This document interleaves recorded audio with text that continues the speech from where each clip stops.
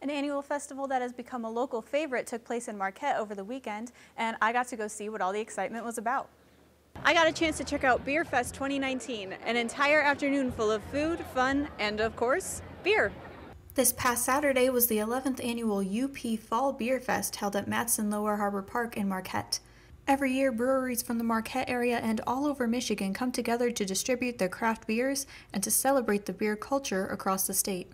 It has certainly grown over the years. The first year, 11 years ago, we had less than a thousand people here and far fewer breweries. It was a really nice event, but it's grown into what you see today with more than 4,000 people and 100 different breweries and hundreds of different beers. So, yeah, it's certainly grown over the years, but one thing's consistent that people are still really nice, having a good time, and enjoying themselves with friends over a nice, tasty craft beer.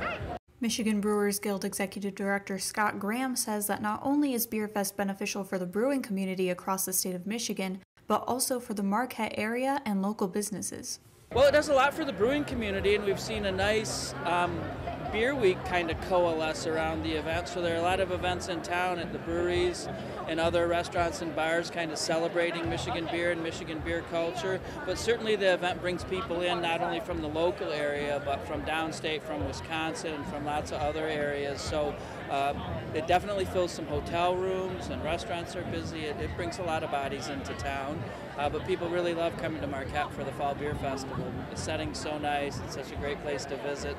There are always new breweries and drinks at the UP Fall Beer Festival every year, so Graham encourages people to plan to come out in 2020.